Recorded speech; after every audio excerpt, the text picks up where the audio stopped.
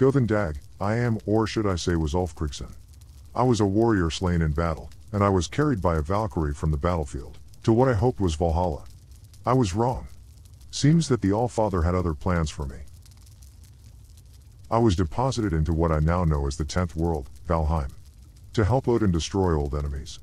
Left with the wisdom of Odin's raven Hugin who has helped guide me on my journey. I have had to relearn how to be a man and a warrior again. This included learning how to craft weapons farm, and I have built for myself a small village called Ulfstadt. This is my longhouse. Along with several other warriors and shield maidens we formed an Althing, or Folkmoot, and have each built our own kingdoms until such time as the Allfather's foes have been destroyed, and we are welcomed into Valhalla. Welcome to my longhouse at Ulfstadt. I have set the tables for a feast. Come join me from time to time as I read the words of the Most High, the All-Father,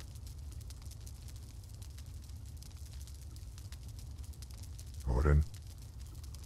This is from the Havamal. 1. At every doorway before you enter you should have a good look around, for you never know where your enemy might be seated within. 2.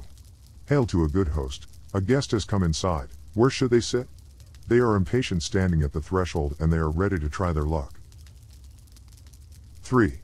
They need a fire, the ones who have just come in, their knees are shivering.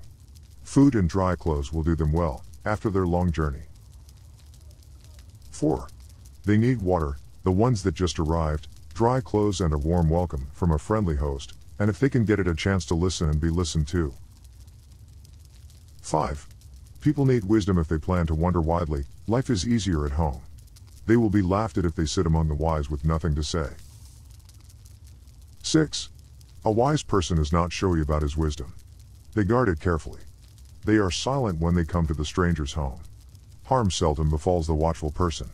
For you can never have a more faithful friend than wisdom. Thus ends this portion of the Havamal. The words of Odin, the Most High, the All-Father. You are welcome here in my hall, you may feast, make merry, and may listen or ask questions. Now we all have to get back to our place and purpose in the world, and I have tasks to complete both great and small.